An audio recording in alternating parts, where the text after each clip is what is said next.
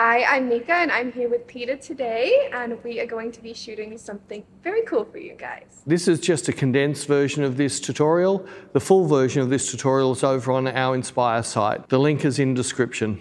So in one of our other videos, which I'll put at the end for you, we did uh, direction of light versus power of light.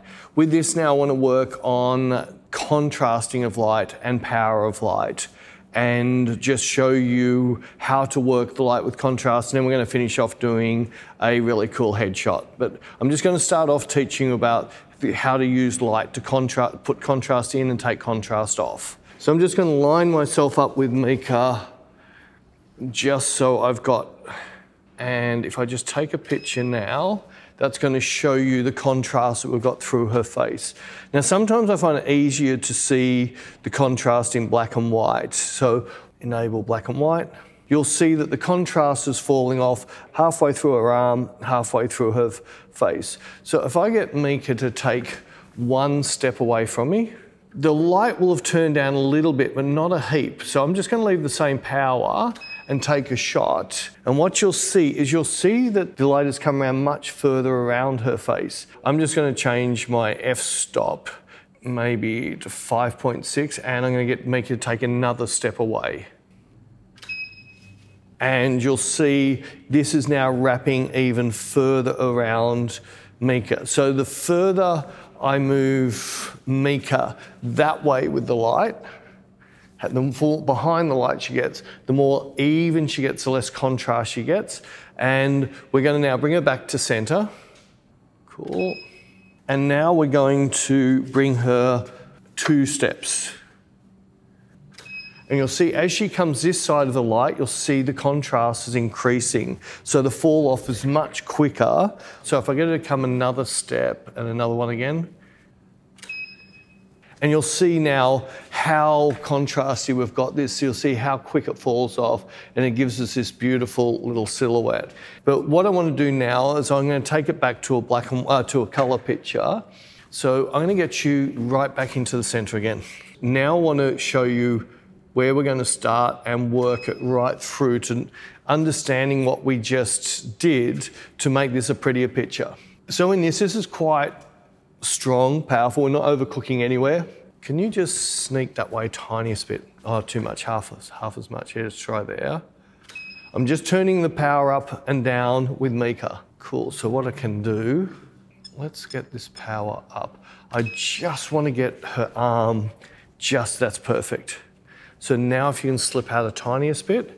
So I'm just slow, finally tuning the light power by moving Meika. All right. So we, there's an arc here around the light where the power is. So while Meika's here, the power is at its highest. But as Meika starts coming back, we can move her closer and closer into the light to turn the power up there. So come into the light a little bit. That's it, perfect. With us bringing her in, she's not overcooked. And you'll see that now we're starting to get this nice light come off around her face. Now, if I come in and work a little bit with this light, cool. See how pretty we've now made this. So I can start fine tuning this picture. We're not touching the power of light at all. As Meika steps backwards and step in a touch. That's it, perfect. Cool.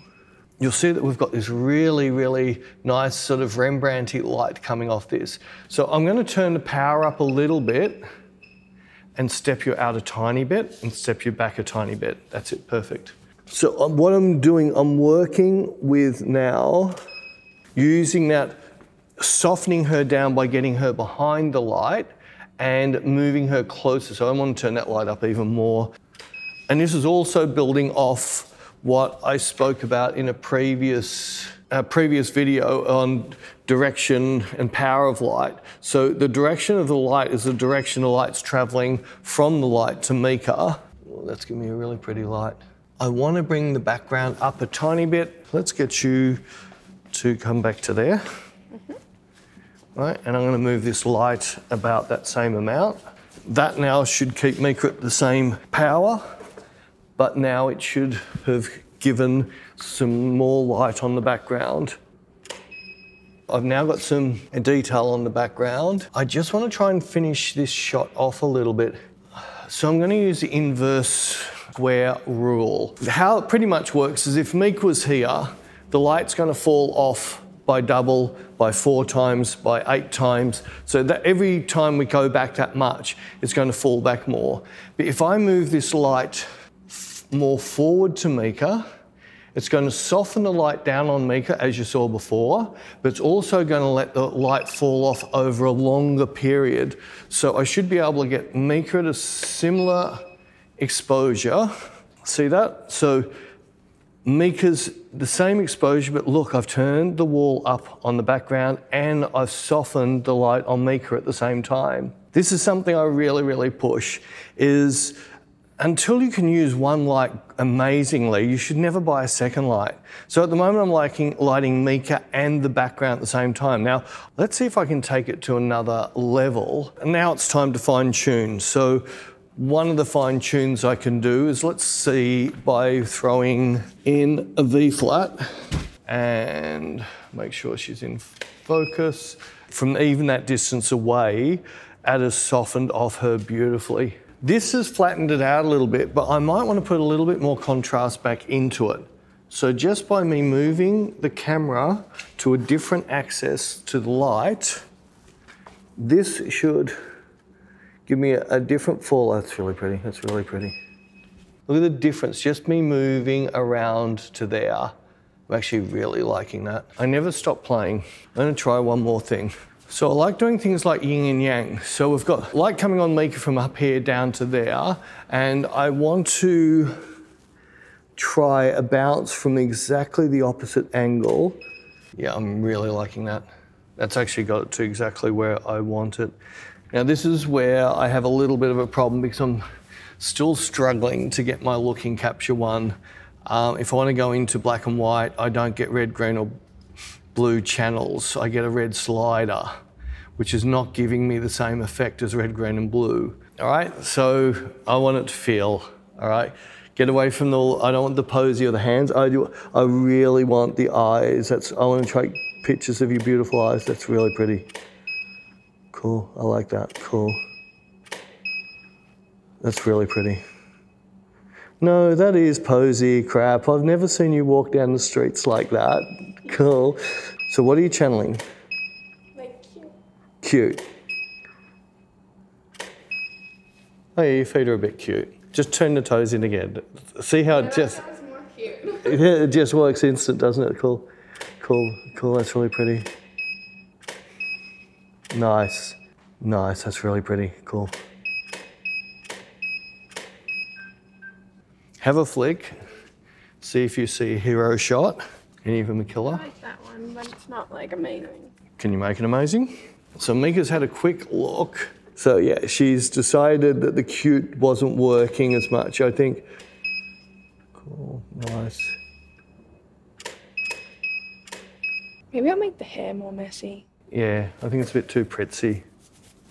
I'll let you do a couple, then you're going to have to let me do your hairdressing and you watch the difference, all right? so on your, cool. Cool, that's really pretty. That's better. Cool, cool. Cool. So I know there's one in there that Meika sort of likes. Uh-uh throw your head over. You're going to trust me now, all right? You're going to throw everything. Huh? You know you used to be a makeup artist, guys? Yes, I used to be a makeup artist. Throw it back, don't touch, don't touch, uh-uh. Just do not touch it. I know she's dying to touch it. That's so pretty. It's just soft it down with your pose. That's really nice. Yeah, no, no, drop, leave your arm down. Square your head up a little bit.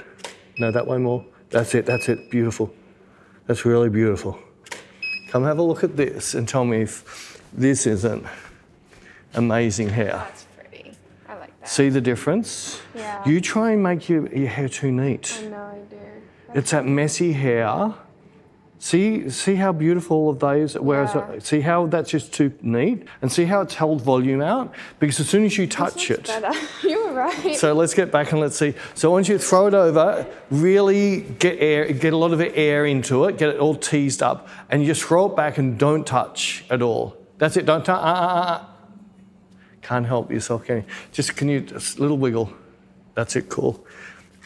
That's really cool. That's really cool. That's awesome. That's I love that. Cool.